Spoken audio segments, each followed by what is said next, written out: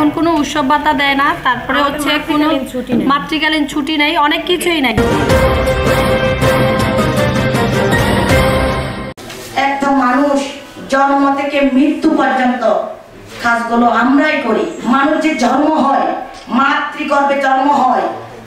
যে মা একটা শিশুকে জন্মদান করে ওই জন্ম দিতে গিয়ে অনেক মা পৃথিবী থেকে অকাল কারণে মৃত্যুবরণ করে। ওই জন্মটা আমরা রোধ করি।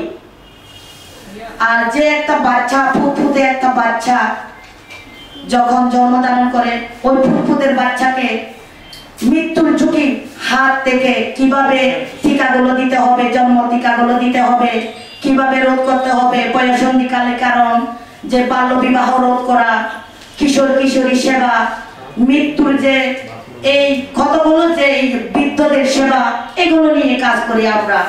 আমাদেরকে কি আমাদের প্রতি কি একটু মায়া হবে না মাননীয় প্রধানমন্ত্রী? আমাদের মা। আমাদের মার কাছে আমার আকুল আবেদন প্রধানমন্ত্রীর কাছে। মা, তুমি আমাদেরকে একটু কোলে নিয়ে একটু আমাদের দাবিটা একটু পূরণ করে দাও। আর এই করোনাকালীন সময়ে আমরা জীবনের ঝুঁকি নিয়ে মানুষের দাঁড়ে দাঁড়ে গিয়ে আমরা সেবা দিয়েছি। এমনকি বিদেশ ফেরত লোকদের তালিকা সংগ্রহ করে আমরা ঊর্ধ্বতন কর্তৃপক্ষের নিকট দিয়েছি।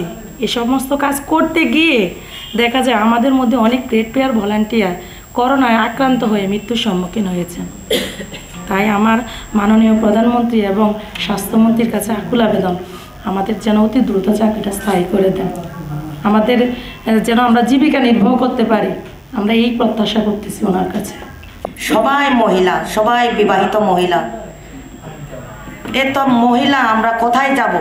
আসলে আমরা মহিলারা সব দিকে জর্জরিত, অবহেলিত। প্লিজ আমাদেরকে একটু এই চাকরিটা যাহাতে আমাদের স্থায়ী হয়, সবাইয়ের কাছে আকুল আবেদন। আকুল আবেদন। মাননীয় প্রধানমন্ত্রী যেন আমাদের চাকরিটা স্থায়ীকরণ করে। কারণ ওনার কাছে আমাদের আকুল আবেদন উনি যেন আমাদের স্থায়ী করে আমরা বাতা চাই না আমরা বেতন চাই। তাই ওনার কাছে আমাদের আকুল আবেদন উনি যেন আমাদের এই চাকরি স্থায়ীকরণ করে। কারণ করোনাকালীন সময় আমরা অনেক কষ্ট করেছি মানুষের ঘরে ঘরে গিয়েছি এবার যে সেবা দিয়ে সেবা পৌঁছে দিয়েছি। তাই হামরুবেলা টিকা প্রদান করেছি। এবং করোনা, করোনার টিকাও প্রদান করেছি। তাই ওনার কাছে আমাদের আকুল আবেদন, উনি যাতে আমাদের বাদ না দিয়ে আমাদের চাকরিটা স্থায়ীকরণ করে। স্থায়ীকরণের জন্য যাবতীয় ব্যবস্থা করেন। করোনাকালীন সময়ে কিন্তু আমিও দুইবার করোনা আক্রান্ত হয়েছি। আমারও হাজব্যান্ড নাই, একটা বাচ্চা নিয়ে আছে। আমাদের এজ নেই। আমাদের সকলের দিকে মাননীয় প্রধানমন্ত্রীর দৃষ্টি আকর্ষণ করছি, সকলের দিকে যেন খেয়াল রাখেন। আমাদের চাকরিটা যেন স্থায়ী করেন এটাই আবেদন।